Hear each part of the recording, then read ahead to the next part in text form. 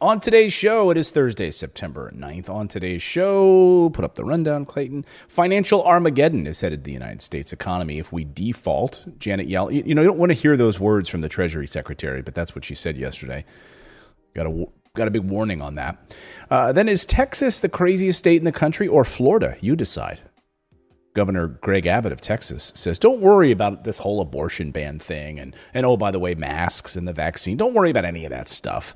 Uh, and, oh, and by the way, don't and also don't worry about rapists." He says, because he's got a plan to stop all rapists. Is it like Minority Report? He's gonna figure. He's gonna like the pre pre crime unit. He's gonna figure this out ahead of time. That and guy's Biden, wearing a hoodie. Yeah, he must be a rapist. I am so not a raper. And the Biden administration could make the highly effective Moderna vaccine available to the rest of the world. So why aren't they? Is it money? Let's get uncomfortable this morning. We've got a couple of stories to make you uncomfortable. Morning Invest starts right now.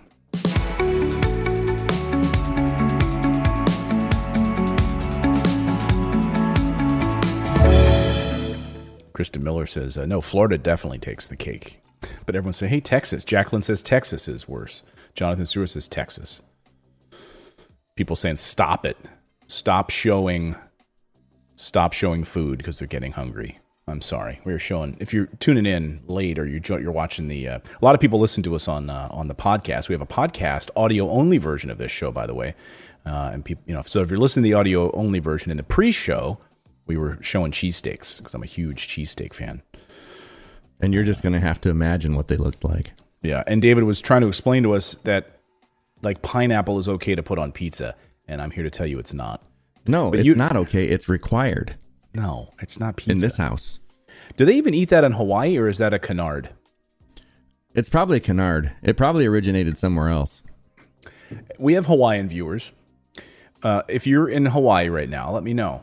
Is this something you normally eat, or are you are you sick and tired of being associated with this this catastrophe of pizza? Well, and and and usually, uh, uh, they're called a Hawaiian pizza when it has um, uh, ham and pineapple. Not not like I get. I get bacon because it's saltier. That mm. contrast of salt and sweet. Yeah. No. No. Sorry to disappoint you. Uh, Sorry in Italy, you. pineapple on your pizza is a mortal sin and a class A felony. Shelby says pineapple belongs on pizza. No. Yep. Jonathan Stewart says pineapple on pizza. Yuck. Exactly. No. Not gonna do it. Not gonna do it. Not at this juncture. Not at this juncture. Not gonna do it. All right, let's talk about our top story this morning. And Janet Yellen, Treasury Secretary, yesterday sent a letter to congressional leaders on uh, Wednesday saying the federal government could reach its borrowing limit sometime in October, although she didn't give an exact date for that. But basically, uh, this, she says, is a financial Armageddon waiting to happen.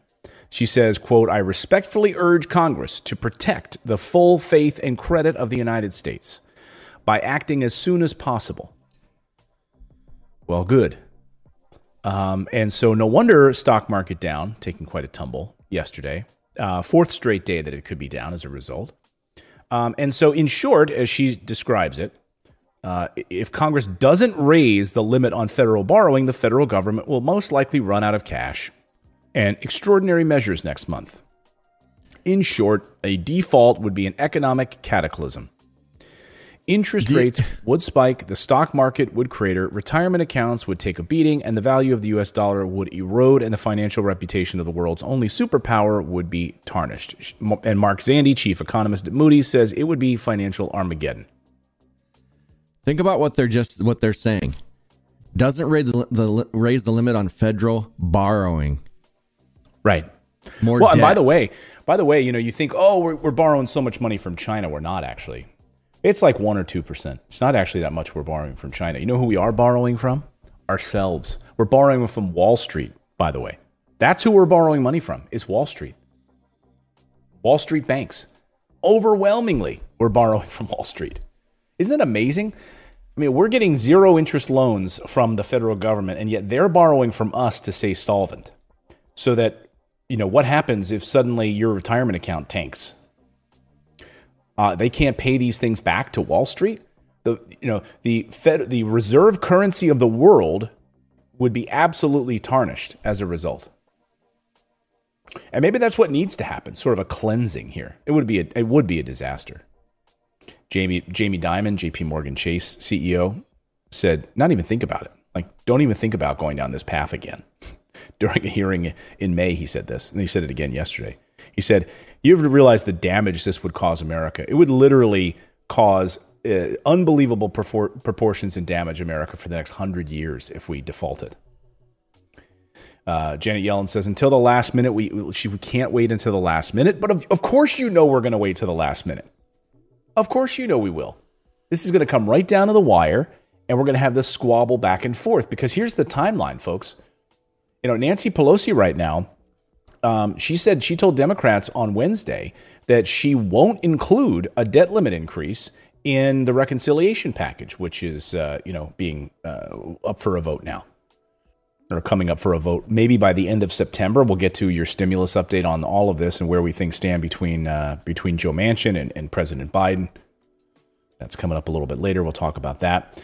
But Pelosi suggested that Democrats have several options on increasing the debt limit,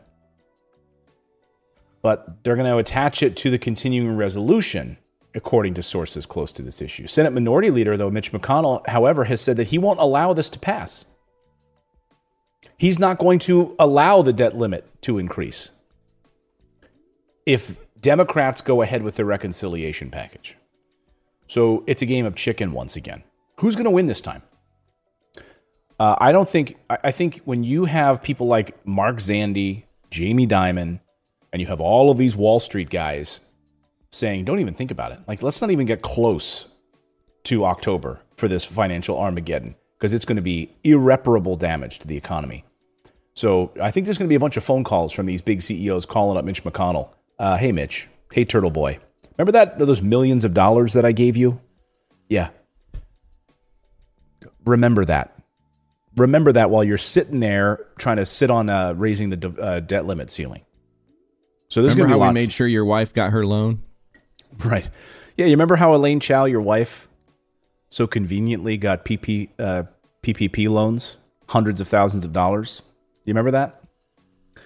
Yeah, we'll make you. We're calling that. in our favor. that was a loud one. almost had a piece of ice. Almost had a piece of ice go down the wrong tube. That would hurt. So there's going to be high level drama uh, to come, as you can imagine. Um, I, you know, it's going to be interesting to see who who caves first. I mean, here's the thing: we're already seeing market chaos we're already seeing troubling signs on the jobs front in the labor market. So the jobs numbers, of course, we're going to have the, that jobs data out today. This is why Wall Street is uh, heading for a fourth day of lows. Um, we saw the ECB, the European Central Bank, this morning with some breaking news on that front. They are going to ease their stimulus. They're going to start to roll back their stimulus buying, their bond purchasing in uh, in the in the European Union. Uh, the Federal Reserve likely going to do the same thing in the United States, even as we're continuing to see really troubling signs now in the economy. I mean, never mind the fact that we have all these unemployment benefits that have dr- run out, and we have an eviction moratorium that's drying up. So, where are people going to go? What's going to happen now if literally Wall Street starts to collapse and everyone's retirement plans? That's the thing. Americans' eh, retirement plans people don't think in terms of like buying performing assets. So most Americans just think, oh, I'm going to get a 401k, which is a piece of garbage. Or pensions or. Yeah, well, pensions are gone, right? I mean, who has a pension right. anymore if you're lucky? And even if you think you have it, do you really? When you see all these pension plans that have gone bankrupt. So all of these people who have their hopes and dreams tied to some crappy retirement plan, tied to Wall Street, and then that collapses because we can't get our financial house in order in the United States. It's sure we can continue to print money so we can carry out wars on a regular basis, but uh, we can't uh, have a balanced budget like we had in the 90s under Clinton with a Republican Congress, by the way. Imagine they got that done. It feels like there's just like a bunch of writers in the background somewhere writing this drama and and they keep like pitting sides against it's like keeping us, you know, divided so that we're it's like we're watching a a, a TV show like a drama series. So it's like you couldn't write this stuff. Yeah. No, I think you could write it, but it would be rejected or you wouldn't get a book deal. Right. Because wait a minute, you're, you're saying, so wait, you did this, David. Like, David, here's your book, right? Here, here's the book that you just submitted to us, David. And uh, I, I noticed that this is the the sequel to your uh, previous book. And in your previous book, there there was squabbling with the debt limit, and it came down to the wire, and someone in Congress finally balked at it. And in this book, you're doing the same thing, but it's a year later in a different book. Like I've seen this story before, and it's not. I'm not going to buy this book. and that's what we're going. I mean, we go through this crap every time. We had we had this issue happen right before Christmas. Here we are again on this budget resolution to keep the government running. Like so, like what if the government shuts down? But in the first book, the people benefited, right? Oh, always. Oh, yeah. yeah. yeah. People are always doing great. Yeah. I mean, think about this, right? If we have soaring treasury rates, okay, it would set off a chain reaction in the financial markets if they don't get their act together. Um, again, if you think of treasuries as sort of like a risk free asset, treasuries are the things that like grandma would invest in, right? Because she doesn't like risk. Well, now imagine like suddenly they're not backed by the full faith and credit of the United States government anymore. Uh, it's the benchmark for which everything around the world is is is based. Everything, right? The reserve currency of the world, U.S. Treasuries. Cynthia became a channel member. Thank you, Cynthia. Everything from stocks, bonds to securities, they all focus on what that 10 year treasury is doing. You know, if, if you don't understand how all this stuff works, the reason, whenever time you flip on financial news channels or, and you hear them talking about the 10 year treasury, it's because that's the standard. A spike in treasury rates w- would cause booming stock markets to become unglued, and it, there would just be absolute. First of all, and maybe this is what we need. I'm, you know, I don't know. I think it would be a disaster, but maybe all these overvalued companies that aren't really worth what what these stock prices reflect would come crashing back down to a reasonable standard. Like the air I mean, would just be think, left out of the market. Don't you think at some point, like in order to right the ship, something's going to have to collapse? It's going to absolutely have to. Like I don't know how, eh, eh, like how we fix it otherwise because it's it's it's to a point where everything is so bad on the the financial end that they're they're continually propping things up. I think that the success of the market is not based on the economy anymore. It's based on how much money the Fed can pump into it.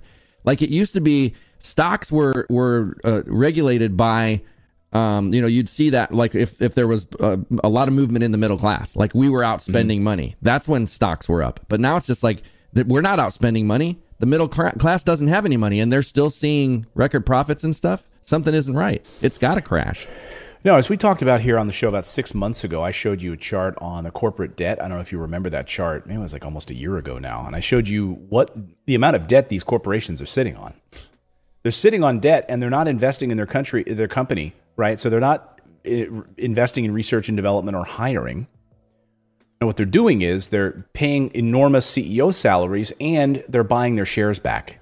And they're sitting on massive debt. So, what are these companies worth? Like most of them are completely overvalued. Well, and when you say they're sitting on debt, we continue we continue to send them subsidies and bail them out whenever it, it right. gets too bad. So it's like what like what do they care? You guys, we don't care. Let's just run up debt and then the, the government's going to bail us out. So mm-hmm. here's your here's your 30 million. Go get a plane, man. Mark Zandi, Moody's Analytics says stock prices would crater. We'd all be less wealthy instantaneously. Not only would millions of Americans lose money in the stock market, but it will also suddenly become more expensive for families and companies to borrow money. So forget about that piece. Like just thinking about the stock market piece, do, you know, don't forget that now you want to go borrow money. You want to get a loan to buy a house or a car. Good luck. You, I mean, you really, it's you know how hard it is right now to get a loan for people. Yeah, imagine it. Imagine it worse or harder. They're like, you know, hey, you know, during the 2008, we're going to give the banks all this money so that they can start loaning it to you guys. And instead of loaning it to us and, and making it go out into the middle class, which is where all the money needs to go. All of this talk about stimulus and, and, and getting money out and, and, and the UBI and all that stuff, that is to get the economy going and giving it to the middle class. But no, they keep giving it to the banks and then they put it out in bonuses and we don't see any of it. We have to fight to get loans. Um, you know, we have to fight the credit system. You know, I just had to fight Yeah. the credit system recently where I, I'm like a 750 beacon score. And because one credit card had an annual fee that I had canceled and they never said anything, they dinged my credit, took me down to a six, 630 something and it affected my my interest rate on my car from like 2.99% to 12% interest. Jeez. Jeez Louise. And there's and, and you can't talk to them anymore and be like, "Hey, yeah, I, you should see my credit was perfect before. It's just this one thing and I'm getting it off my thing." They're like, "Yeah, we don't care. We, we they only go by the number.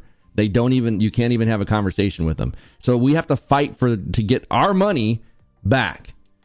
Yeah, and that's how the United States operates. It's a debt economy, and so that's how we operate. You know, you want to go get a home loan, uh, you need to have good credit. I mean, that's the bottom line. Or if you don't have good credit, you're going to pay hundred thousand dollars more for your loan over the life of the loan because your credit is a little bit dinged.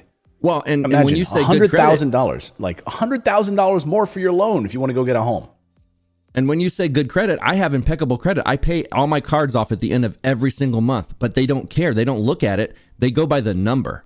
Mm-hmm. So if you if you're looking to get something, like when I went to get the car, I noticed all of a sudden I started getting these things: hard inquiry, hard inquiry, hard inquiry, and and those like even getting your credit checked takes your credit score down.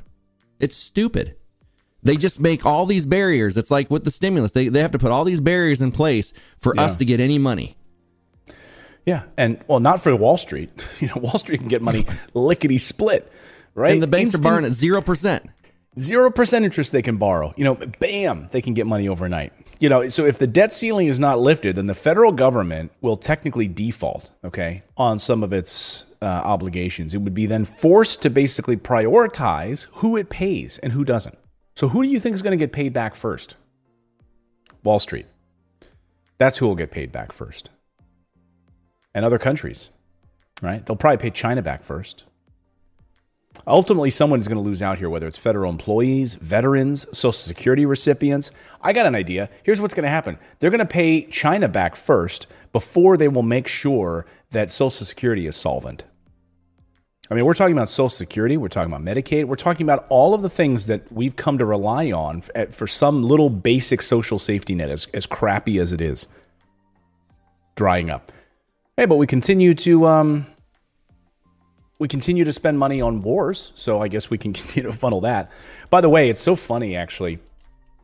As part of this negotiation over the next few weeks on on on on uh, on the debt limit, you know, we've got the reconciliation bill, we've got the debt limit uh, issue, we also have uh, we have an abortion issue that we're dealing with, obviously in Texas.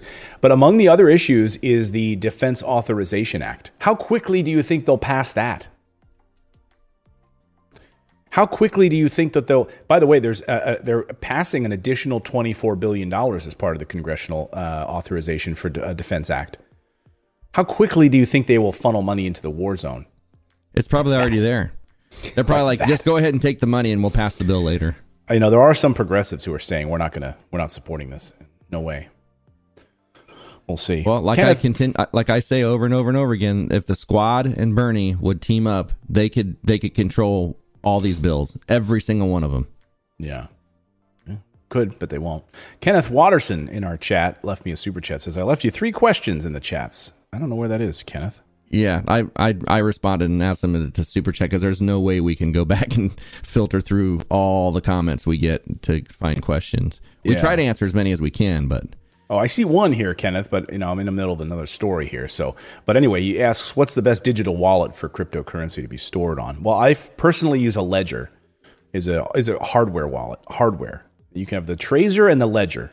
Those are two that are hardware. My wife got that for me for Father's Day, so I've got the Ledger hardware wallet. Uh, but uh, you know, you know, you've got other. Coinbase has spent a ton of money as far as like an online exchange. They've spent a ton of money on security. So as like an online exchange, that's one if you're going to store it online and trade. But I personally think cold storage is the best move. All right, we've got more news to get to. I want to get to your stimulus in a moment, and it's Biden v. Manchin in a big battle here. We'll tell you what the White House is saying and where Joe Manchin is on the stimulus update, the $3.5 trillion package. But first, I want to tell you about our friends over at Netgear and, uh, you know, the makers of the fantastic Orbi. It's a masterpiece of connectivity. Is your Wi Fi struggling to keep up with your streaming, your work, your video calling, and more? No, Well- it's not Clayton because I use the Orbi. Oh, yeah. So David upgraded to the Orbi about four months ago, right? Yeah. So now you don't have those problems anymore. No, Not at all. and it's amazing. It, it supports 2.4 or 2.5 megs of internet. So I've got uh, two gigs going into it, which means I got two gigs going out into my house, so I can run like tons of devices. And Two I go out to the yeah, I go Holy out to the edge of my yard, uh, and I still have service out there. Like it's I have two of them. I have a one and then a satellite, and my whole house is like perfectly covered. Well, it's time to treat your home like David's home to the world's superior Wi Fi system with Orbi Wi Fi 6 by Netgear. No more buffering, no more dead zones, no more dropped Wi Fi connections. Orbi Wi Fi 6 by Netgear is perfectly engineered to ensure a faster, superior Wi Fi connection across even the most demanding and sophisticated smart homes of any size. Upgrade to the award winning Orbi Wi Fi 6 when you get untapped, crisp 8K video streaming, get crystal clear audio with faster speeds across your devices, all with zero interruptions. And by the way, you want to get 10% off today? So upgrade to Orbi 6 to Wi-Fi 6 today and get 10% off. All you need to do is go to netgear.com slash best Wi-Fi. It's right there on your screen. Netgear.com slash best Wi-Fi. Use the promo code morning10. That's how you get 10% off. You have to use that code morning10 create that awesome mesh network for your house. One thing that's that I like especially about it is that the satellite where I have like uh, it's not plugged into Ethernet down in the uh, living room. Yeah. I have two Ethernet devices plugged directly into it, and am getting really good speeds. Meaning, I, I it's I, it's like I extended my uh, ability Oh, to use yeah, Ethernet yeah. ports. Even though it's not, it's it's Yeah. Wi-Fi, but you're plugged into that Wi-Fi mesh network hub, and it's actually almost as fast as actual. I'm getting Ethernet. three to four hundred up out of a one gig connection. Wow, Yeah, through a satellite. nice. That's awesome. Yeah. Yeah, yeah. Jonathan Stewart says the Orbi sounds really good if I can afford it. I used to have the older Netgear. Netgear is the best. Yeah, I love Netgear. Sweet, sweet, sweet. So yeah, if you don't waste your money on some of those crappy things you see at like Best Buy, like with all like the like look like a spider with all the antennas everywhere, those things do not work. Don't do it. Don't do it. Trust me. Take it from David and I. They're a waste of money. All right, we got more news to get to. In fact, let's get to this story. Uh, the stimulus. So President Biden is uh, really battling right now uh, with with Joe Manchin. Joe Manchin could really upend his presidency. Maybe that's what he wants. I don't know. Uh, but the bipartisan infrastructure bill, Pelosi now has agreed to hold a floor vote on this. So she will, in fact, hold a floor vote on the bipartisan $1 trillion infrastructure bill by September 27th. Okay, so that's the first part. This will be happening while Democrats are still trying to fight. They're fighting with each other over the reconciliation bill. I know it gets complicated here, guys. Remember that the f- first infrastructure bill was the roads and bridges bill. That was the $1 trillion deal, right? This other one is the $3.5 trillion human infrastructure package, right? Which is Medicare, Medicaid, healthcare spending, all of that, and raising taxes. It has dental, it has vision that uh, that Bernie Sanders wants in there. Well, Pelosi and House Democratic leaders right now are pushing to get the reconciliation package through the Budget Committee by that date, September 27th. But we're not sure at this point that that's even doable. They don't even get back from break until the 20th. I mean, they're back, like, I mean, really? back on the 20th? Yeah, I love how most of America funny- goes back after Labor Day, but they're, they're, they're back after the 20th. And they've been off all August, by the way. Well, and remember, they were like there was such a crisis that they called them all back, and they Mm-hmm. did nothing, and then left again. Yeah. like, we're back. We're ready to do something here. But Nancy's uh, like, "Look, we're calling them all back. You guys get back in here. We're gonna fix this, and then they get in there. Oh, we're not fixing it. Sorry, yeah, psych. we're not we're not doing this. So we'll never underestimate Nancy Pelosi's power on this stuff. You know, her ability to deliver on this stuff. She's done it before. So don't underestimate this woman. I'm telling you. Love her, hate her, whatever you do, I don't care, but don't underestimate this woman. But also, don't don't forget, we won't know what's in it until it passes, like she said. We got to pass the health care bill until we so we can figure out what's in it. I saw Linda in the chat a few minutes ago, Linda Evans saying you know, hey Clayton, you know, she she has universal basic in care, uh, uh, universal basic income hidden in this bill. Um, I don't know how you know that, Linda. I mean, I with all due respect, there's no, we've not seen any draft of this thing yet at all, and they Yeah, just and they're not gonna they're not gonna hide that.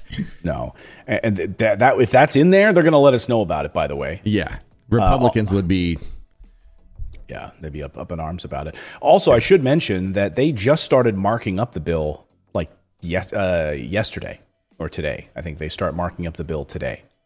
So we don't even have like they haven't even gone back and forth deciding what's in, what's out yet. So um, again, Linda, I love you with all due respect, but I I don't think that's in there.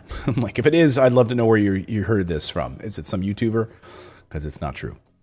Conda Vaughn uh, in the chat is saying, I am a member, Clayton, and I did listen to what you were saying about the financial Armageddon. What I'm curious about is that is that going to affect people's disability payments? I know pensions are gone. Well, yeah. I mean, Social Security disability. I mean, if Social Security is gone and we default, where do we get the money to pay for Social Security? There's no money, right? If the Social Security Trust Fund is, I'm telling you what they'll, they will raid first, what they always raid first is the stuff that will benefit you. So, yes, Exactly. Social Security disability benefits, yes, absolutely, would be raided first. Veterans benefits, yes, they're going to pay back Wall Street first, like they always do. So, back to the stimulus side, Pelosi you know, has a tough, tough challenge right now, uh, and for the rest of her leadership team to try to get this done. Progressives could face a key question here: Do they vote for the bipartisan infrastructure bill if the reconciliation package isn't ready yet?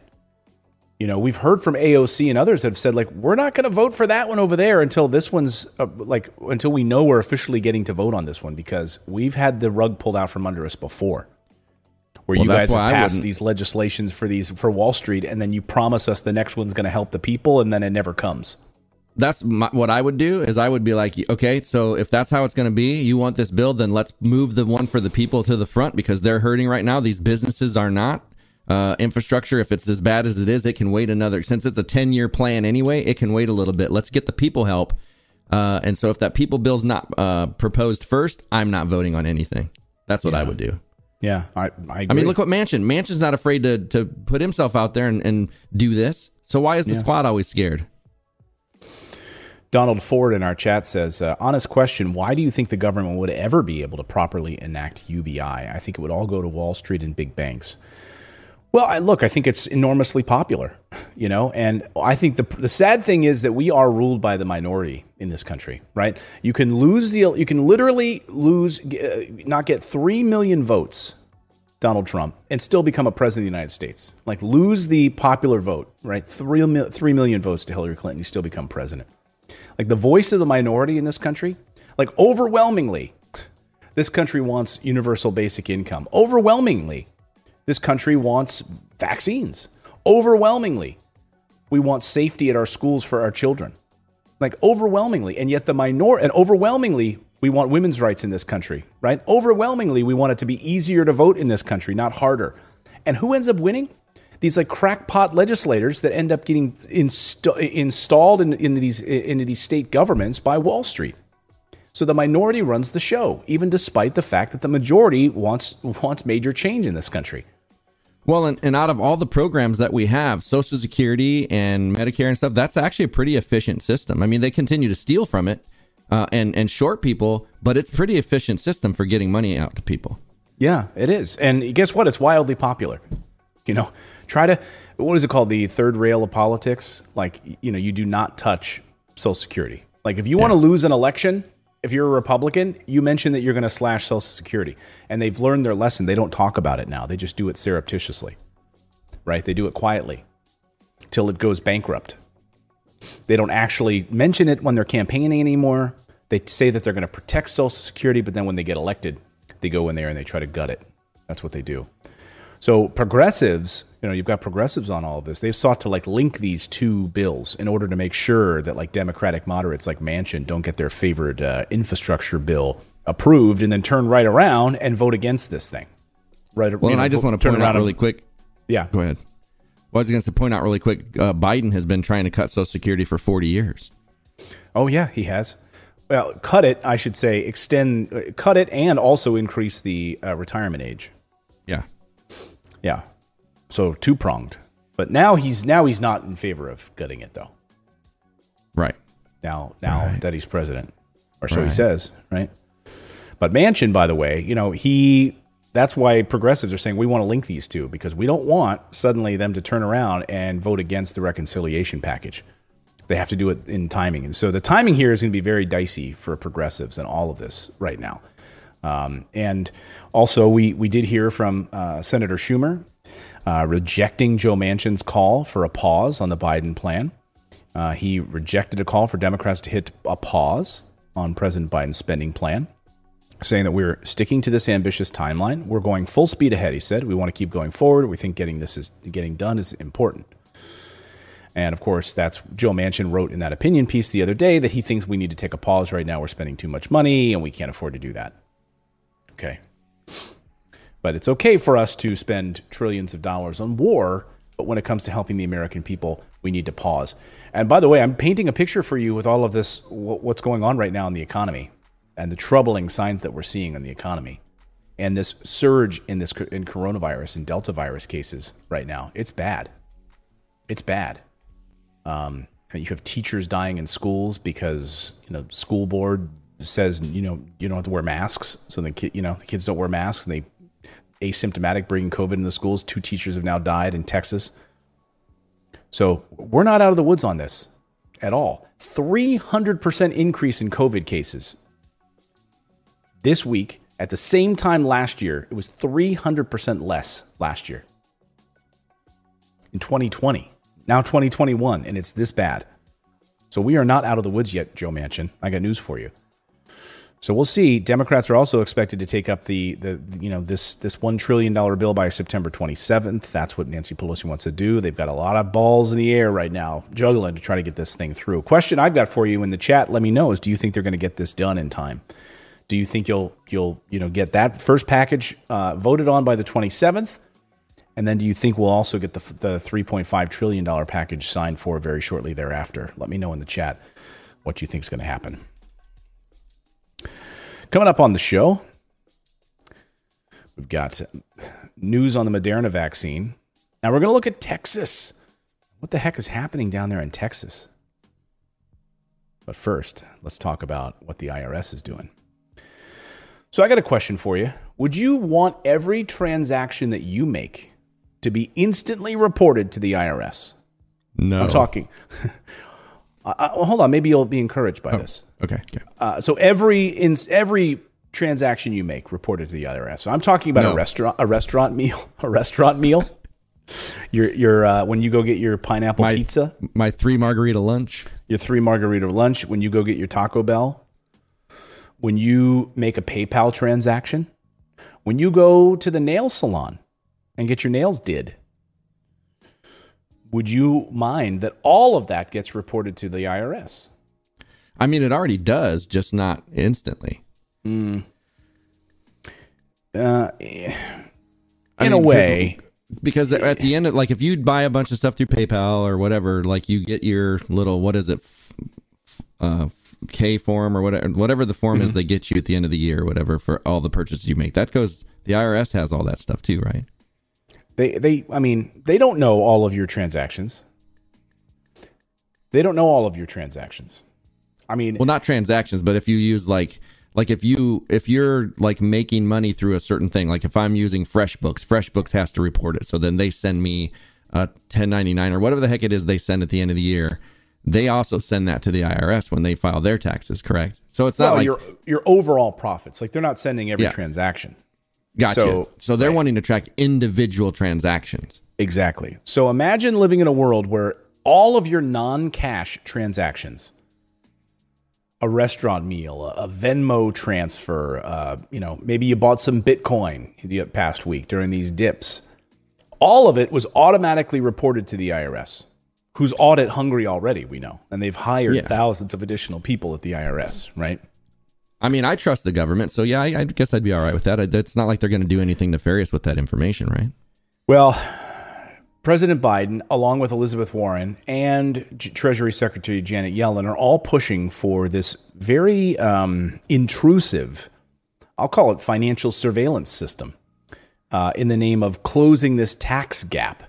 I mean, what they're Oh, so pointing. they're go- Yeah. going to the after the wealthy. Then is what you're saying. No, no, no, no, no, no. Now, you would think that that's what they would be going after, right? That they would be going after the wealthy, because God knows, you know, I mean, how many how many uh, billionaires aren't paying their fair share in taxes, right? I mean, we already know that the top one percent are evading one hundred sixty three billion dollars a year in taxes, but you know, Republicans and Democrats have voted against this, basically. But right now, the White House is investing or has proposed investing $80 billion in a new tax collection agency over the 10 years to hire more enforcement staff, overhaul its technology, and usher in new information reporting requirements that would give the government greater insight into tax evasion schemes. We knew this was coming. They've already moved more digitally anyway. So so rather than going after the billionaires who actually do take advantage of the tax system, they're going to put things in place to make it so that not only will they know every transaction because then if they know every transaction, they are going to know our income. So if you start to have any kind of savings, they're going to be like, we need to go after this person. We cannot have people in America saving money. Like they already don't like when we save money. They don't like us to have any money.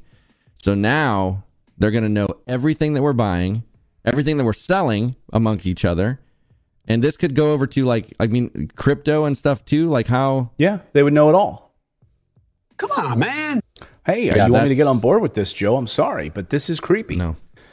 I mean, think about this. Uh, in you know, Republicans and lobby business lobbyists um, who argue the IRS can't be trusted with more power uh, say that these proposals are an invasion of privacy. Democrats are counting on raising money by collecting more unpaid taxes to help pay for the 3.5 trillion dollar spending package. Right, so they're they're kind of laying they're they're trying to couch this as we're going to go after wealthy people. But wealthy people don't make. I, I, I hate to say this, but I don't hate to say this. Wealthy people don't. Wealthy people aren't doing those sort of day to day transactions like that, right? Um, it's it's funny. People end up buying and gifting things to wealthy people all day long. It's it's going to hurt the little person. That's it's going to hurt us, frankly. It always does. That's all this is about. This is about they're like, you know what?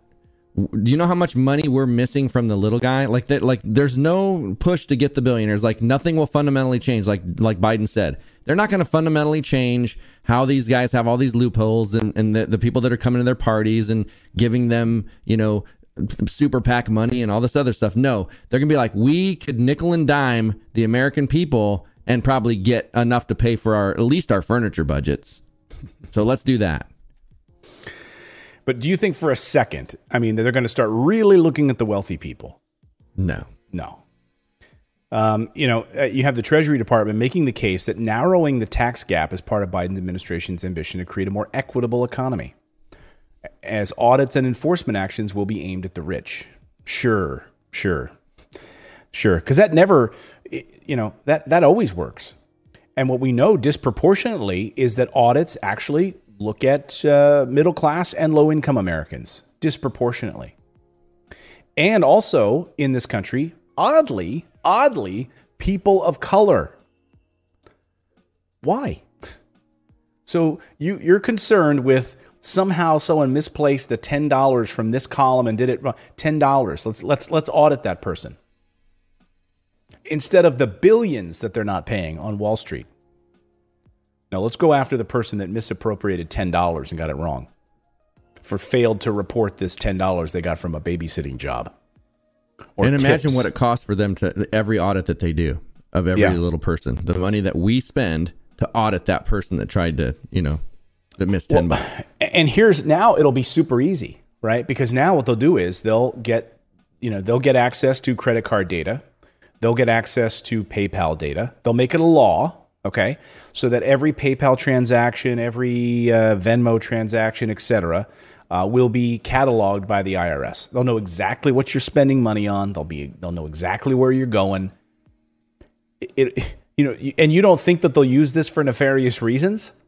I mean, really? Come on, man. I know you will. I know you will use it for nefarious reasons because I don't trust the government. Look at the look at the NSA. I mean, look what Edward Snowden told us about. And now he's a criminal. He tells us that our government is snooping on our phone conversations. Innocent Americans? Like you, you believe that the IRS will use this use this data for good? And by the way, the government gets hacked on a regular basis. So even the government having access to this data, what about what about hackers get access to this data?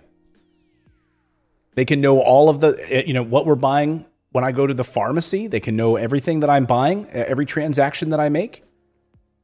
They can know that I'm stocking up on pineapple for my pizza and people can yes. mock me for putting pineapple on a pizza. You know? Nothing makes sense. Exactly, Judge. Pineapple on pizza? Nothing makes sense. Exactly. I don't wear a toupee. so there, there's your financial control coming to the United States. Biden's total financial control, couched as a uh, you know as a way of going after rich people. Imagine living in a world where everything is watched. Write to your government, call your representatives, tell them to vote against this, tell them to make sure that this is not a. And by the way, they'll shoehorn this in some sort of uh, in, in some sort of reconciliation package. Like they'll sneak this eighty billion dollars in there, and no one will have no recourse. It'll just be snuck in there. We have nothing to do about it. There's nothing we can do. It'll just be passed and President Biden will sign it. Awful. But still hasn't gotten out the additional 600 bucks he owes us. Right, but you know, Linda in the chat brought up a good point a few minutes ago. Said, uh, said, you know, it's interesting how apparently they don't know what we spend our money on. Yet when they sent out the stimulus bills, stimulus, checks, boy, they happened to know that we spent a lot of it at the stores and what we were spending it on to to label it a success. Yeah, they knew so much. Like, look, look. So, so you think that the IRS isn't going to use that for nefarious things? But look, the first stimulus, they used that to to track how many people were saving, and so now every time they propose stimulus again, there's all of these regulations and stipulations and stuff because they don't want you doing that. They mm-hmm. don't want you to have any money to save. So you think they're not going to use that kind of that kind of information at the IRS to be like, well, this person's doing this. We need to, you know, d- d- do this or whatever. Like they use that information against us already once, and they don't even they're not even doing it at the IRS level yet. Right. Yeah. Although Rumple Gold in our chat says, uh, so question: If they monitor everything I spend on, well, maybe they'll give me more to enable me to keep up. maybe. yeah. Yeah. They're like, hey, Rumple is uh, he's buying a lot of video games lately. So the IRS, to, a financial force for good. We need to make sure that Rumple can continue to buy uh, PlayStation Five games. And he's been buying a lot of pineapple for his pizza lately. She, yeah. Oh, Rumple, yeah, sorry. Rumple yeah, sounds like a, a, guy. That's why I think you know. No, I thought that for the longest time too, because of Rumpelstiltskin. Lioness says, I need a shirt that says nothing makes sense. I do. that would be great. I don't know if Judge would allow me to do it. Nothing makes sense. Thank you, Judge. Thank you, Judge. Hey, hey, Grim, make a note of that. Grim, make a note on that yeah, T-shirt. Nothing makes sense. You need a clever, nice T-shirt. Um, I want to tell you about our friends at Grammarly. We got more news to get to here. We're going to talk about the Moderna vaccine here in a minute and what's going on in Texas will blow your mind. Wait until you see this video out of Texas. We'll show you that in a minute. But first, our friends at Grammarly, I got to say, when it comes to saving time and working more efficiently, there's very few things that I use that save me as much time as Grammarly does. I love Grammarly. It really helps me become a better writer. It improves our newsletter every day. It makes sure that we have proper clarity and uh, vocabulary in our newsletter. Um, you can tie it. Grammarly works right inside of your browser, so you can install it, run it right inside of Chrome. You can put it inside of Safari, whatever browser you're using. You know, you can put it right inside of Gmail. So as you're typing your email out in Gmail, right there to, to make sure you're not making stupid spelling mistakes and your it, it, yeah, it works in Google Docs too. Oh yeah, yeah. They've got Google Docs now too, and so that's how Natalie and I collaborate on the newsletter in the morning through our Google Docs, and it saves us so much time. It saves us so much time. So, I mean, we use it every day in our daily newsletter. Uh, by the way, you should subscribe to our daily morning newsletter. Morninginvest.com is how you subscribe. But anyway, uh, with the free version of Grammarly, it's free. Just try it. You're safe from embarrassing spelling mistakes, grammar, and punctuation mistakes. Why wouldn't you download it? It is free. It's Yeah, free. don't be the person that loses respect every time you say there, there, or there. Exactly. Or you use affect instead of effect, right? Yeah. You know how many you know how many dates people have lost due to the way they spelt there? Exactly. Don't fall for bad grammar. Grammar Premium, by the way, they have advanced time saving features, help you write more clearly and efficiently, streamline your workload with seamless integration into Microsoft Office, your internet browser, your phone. I use it on my phone. And they actually have a Grammarly keyboard for the iPhone. You can close all your thesaurus tabs, or as David says, thesaurus. And you can save the research with time with vocabulary suggestions for more compelling word choices. Get straight to the point with clarity suggestions that eliminate unnecessary or redundant or redundant or redundant or redundant words and phrases. Hit send with confidence and get your point across more effectively with Grammarly Premium. Get 20% off Grammarly Premium by signing up at grammarly.com slash invest. It's right there on your screen. That's 20% off at G-R-A-M-M-A-R-L-Y dot com slash invest. Our thanks for supporting Morning Invest. Have you Thank ever you so read much. a thesaurus? I have read a thesaurus. Have you ever read one on weed? No, I have not. I've never done weed. I've never done uh I've never done the pot. I've never done the pot. I've literally never uh, I've never done a drug in my life. Isn't that crazy? Wow. But maybe I'll you don't start. do caffeine? Uh, I mean, I, I, I I've never done a drug other than uh, like heroin. Um, oh, oh, gotcha, gotcha. I, I've never done any of the hard stuff like caffeine. Yeah. I don't do Or the hard sugar. stuff or sugar. Yeah. Joe says weed is tight. What was that? Huey Lewis. I want a new drug. One that won't make me. Uh, yeah, yeah. Jason Frank says, I wish I could so badly tell you what happened to me with Bank of America and Chase, then tell the listeners. Not sure what even happened was even legal. Linda says, Man, you've been so sheltered, Clayton. I know. I know. I just never. You know what it was? I'll tell you the truth about. Uh, I'll tell you the truth about drugs. So I grew up. My uh, my uncle, uh, when he went off to Phillips Exeter Academy, he was a brilliant, brilliant guy.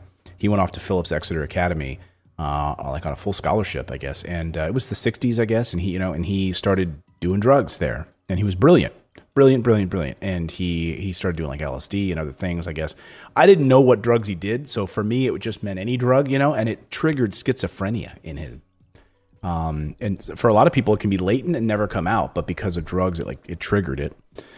And according to some neurosurgeon uh, that I was close with, he said, "Yeah, it's it's very possible, but um, that it like that's exactly what triggered it as a result of that." And then he ended up like living with my grandmother for the rest of his life, and he, you know, he was really just just his whole life went down the tubes as a result of uh, having to deal with that. And he, when he lived with my grandmother and never got a job, and it just was a really really sad sad. Um, existence for him. So I was always fearful that, oh my God, if I ever did that, it would trigger something like that in me. Maybe it's genetic. To which a neurosurgeon said, no, it's not. And it wouldn't. But hey, then I missed the point of doing drugs. You know, I was like, then I was in my like late 20s and I'm like, well, that ship has sailed. I don't really need to, I don't to wind that clock back to college again, you know? So Yeah, not anyway. me. I I done almost all of them. Oh, good. Yeah, That explains it. yeah. That's like at least explains the beard. Yeah. And the pineapple on the pizza. Yeah. Oh yeah.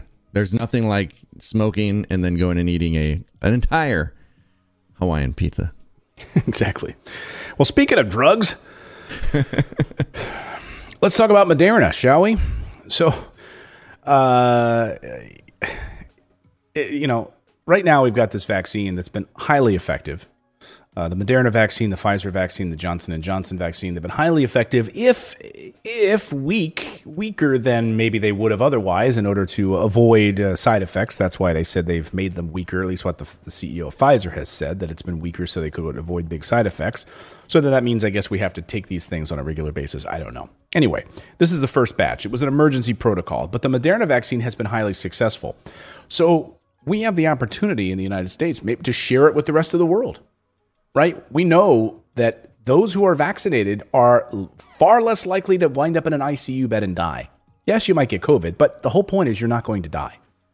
That's the whole goal of this thing. Unless you're immunocompromised, you're 85 years old, you've got, you know, you've had some other major health issues before, right? So couldn't we share this with the rest of the world? Well, we can. But and as President Biden could with the, the stroke of a pen actually do this.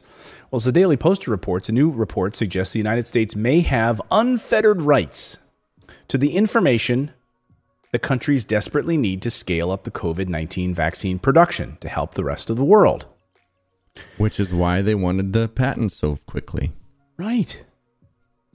But the Biden administration may possess unilateral rights to the biochemical makeup and manufacturing process of the Moderna vaccine. In a 2020 contract with Moderna, which is a division of the Department of Health and Human Services, they agreed to bankroll much of the vaccine development in exchange for access to all documentation and data generated under this contract. And that documentation, as the report says, likely includes the vaccine recipe and manufacturing process. Now, we've heard that we can't share this with the rest of the world because it's proprietary, right? They've got a patent on it, we, and they need to make their money. Well, and, and they're and they were saying they don't want China to come up with a cheaper version that you know Right. by by making you know the, and and then taking that technology and expanding it to, to cure other things that the United States wouldn't be able to cure first. Dis- disseminating that data would allow countries with fewer or less effective vaccines available to begin the process of manufacturing the Moderna jab, an important step in getting world the worldwide pandemic under control. You know, the thing is, like the pharmaceutical industry, the pharmaceutical lobby is one of the biggest in the in Washington. I there's no way they're gonna release that formula. There's no way.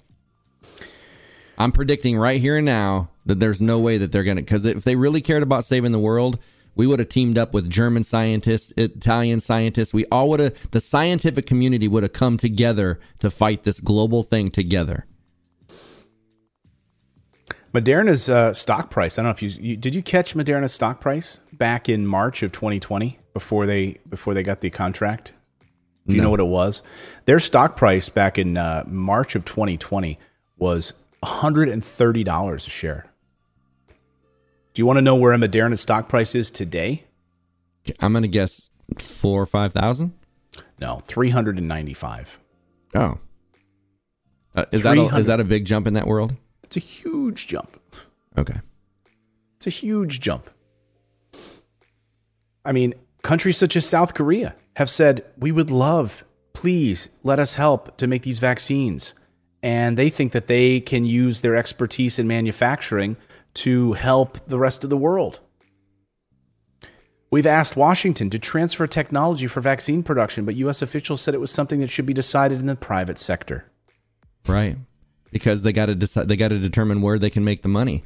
It's all about money. This mm-hmm. is this is never from the very beginning been about helping people. Because if it had, they'd have been transparent with how how it was originated, which they didn't. They lied about that, lied about masks, lied about everything. Then they lied about herd immunity. They've been lying the entire time, and they wonder why people are so confused. And and yet they're saying like, oh, we want to help the world. That's a that's a load of crap. Because if you did, like I said, these scientists would come together. No private sector would be involved. It would be the scientific community working together to find a solution to a global pandemic. This is global. You want to be a force for good in the United States instead of paying lip service to it? How about here's an opportunity to be a force for good, right? Like stand up to these big Wall Street companies, stand up Yeah. to these manufacturers and say, you know what? Thank you. We get, we subsidized billions of dollars in this vaccine technology to help get this out on the market quickly, right? Operation Warp Speed and you're holding this intellectual property. I mean, you have like Seoul, like as I mentioned in the Financial Times, you have like Seoul, South Korea urging President Biden to break the vaccine IP deadlock. They want to spend billions of dollars in manufacturing because look, there's a shortage. So we have a shortage. We have an opportunity to help people around the world. We are not living in a vacuum. Well, and you know what? And, and how come our our voices are never heard? Because we, okay, we paid these companies, Johnson and Johnson, Moderna, and Pfizer. We gave them money Yes. to come up with the vaccines. And then they patented it. Are they paying us back with all the trillions they're going to make on the vaccine? Is that coming back to us in any way? No. Oh, you didn't you didn't get your Moderna check yet? No, I haven't. I have not seen one Moderna. I think I might have got a Pfizer. No, that was uh, no, that was a, a pill, blue pill. But Oh, okay. um, but no, like I've gotten nothing from any of them. You got your Viagra. Yeah, you uh, got that. Yeah. But like, like, look at how much money we probably gave each one of these companies to get these out. So shouldn't if we paid for this, if this is technically our vaccine that we paid for, why can't we decide where it goes? I mean, it's like that just should tell you when you when actions speak louder than words, you should see their agenda is not to help the world, it's not to get rid of the the virus, it is to sell vaccines.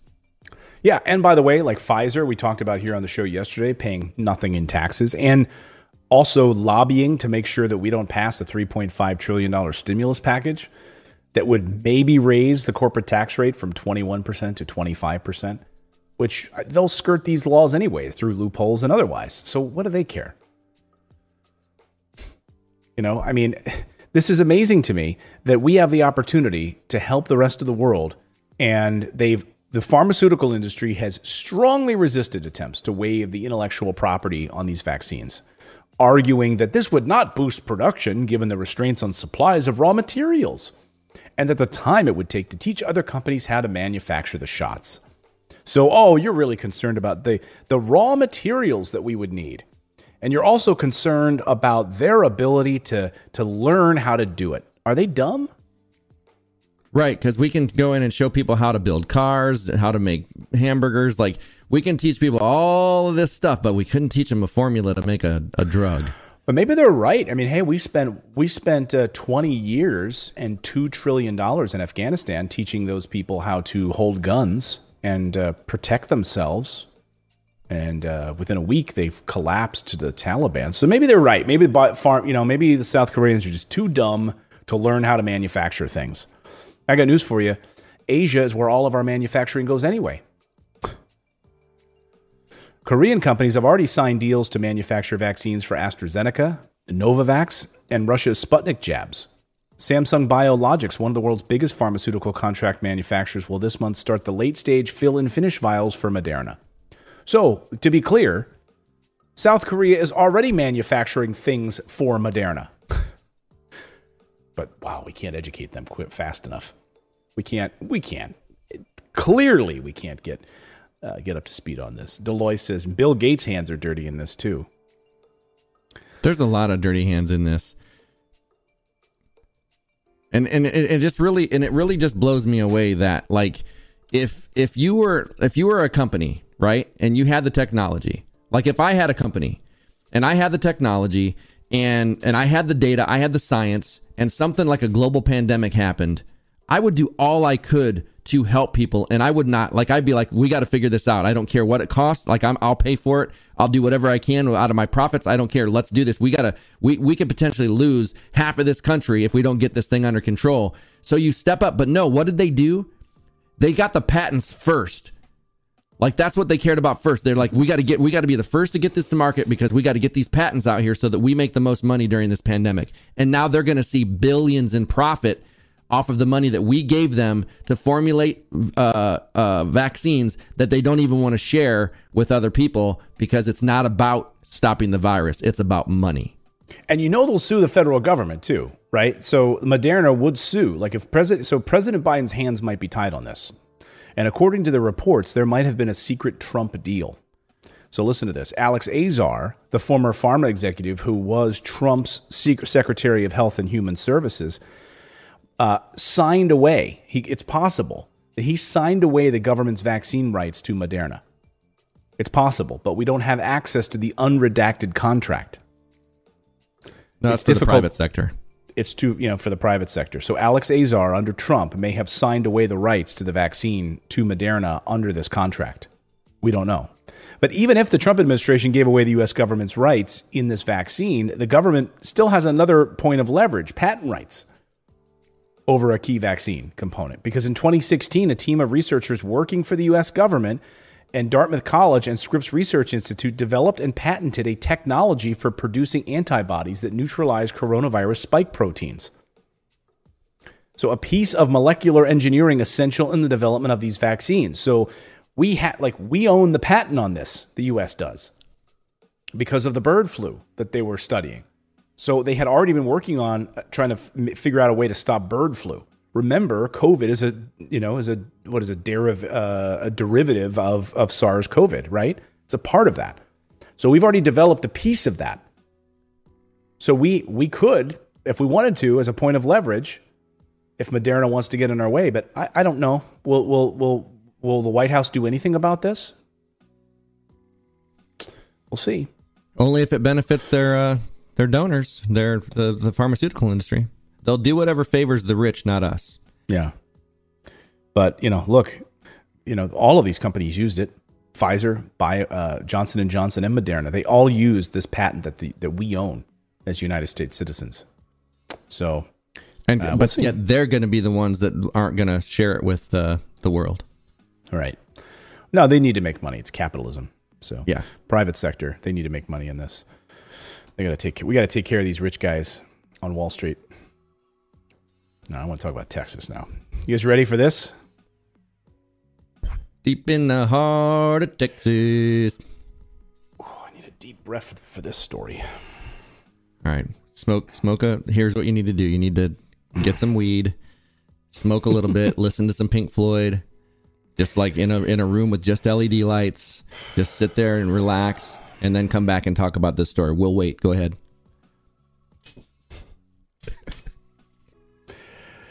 By the way, here's Moderna's uh, here, here's Moderna's new television commercial. Hello, I'm Stacy Hayes. Put down that remote control and get ready to fill your pockets with cash.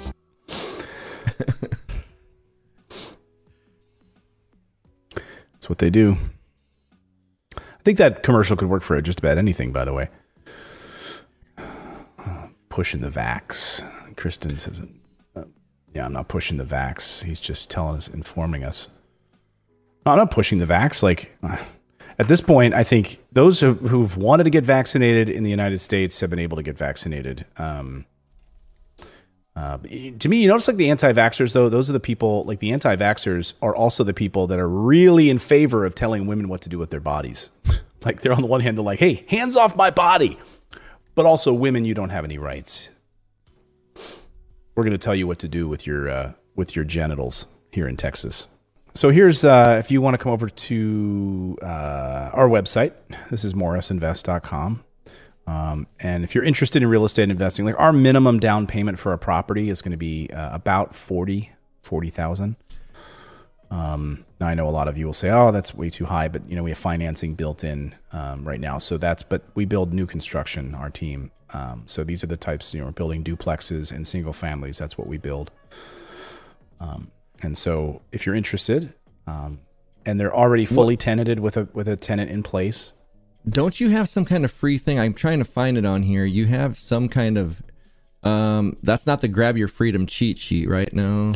yeah, yeah, Is that it?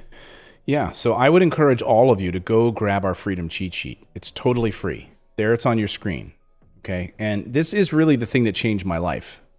It's it- once I understood how m- much in passive income or money I would need every month to live financially free. And so we I walk you through in the cheat sheet how to do it um, and how to figure this out. If you just go to morrisinvest.com slash freedom, again, not morning invest, go to morrisinvest.com slash freedom. No, not a very creative name, but that is the company I came up with many years ago. So if you come here, you just find you just put in your email address and we'll download it. You'll download it, it'll be sent to your email. And you figure out what your freedom number is. And what I'd like to do, David, you should download it right now and then tell me what your free like go through it. It's about 3 pages. It'll take you a little while to go through your expenses and figure out what that looks like because we teach you what to look for. Then tell me what your freedom number is and we'll talk about it. Like then that's then and I want you to put that number like up on your refrigerator, up on your monitor and Okay. start like because I have like we have clients who will they have their they've sent us photos. They they will put up their freedom number like one lady had balloons made. You know those mylar balloons with the number? She had that hung in her office. You know how like mylar balloons like never run out of helium? Like they stay like that for so long? So she had she had these mylar balloons made with her freedom number it was like three thousand or like four thousand dollars a month for her to live financially free like if she had passive income coming in every month that could provide that through different investments she wouldn't need to work anymore right? And it would take care of all of her expenses. I'm talking her groceries, her gas, her rent, etc. So she had those made into mylar balloons that hang hung in her home, and she was working at it. And then she hit that number. We were able to help her get to that number. Um, so anyway, with you on the road and cutting all these expenses, it's going to be an interesting time for you to start reassessing that. Yeah. Jim Yeah. Schultz said, I live in my car now. I'm in my car in a Starbucks parking lot. Wow. But yeah, Jim so my goal would be to get some land, do that, and then uh, I would like to pay off. The, like, is it smart to pay off a car and pay off an RV, or is that like, you, you know, Yeah, I mean those are not those are liabilities, you know. Um, so they're not performing assets, you know. Yeah. Um, let's see here, paranormal post. So here's the website for paranormal post. If you come to it's youtube.com slash paranormal post. Jim was asking about that. He said, What's the website?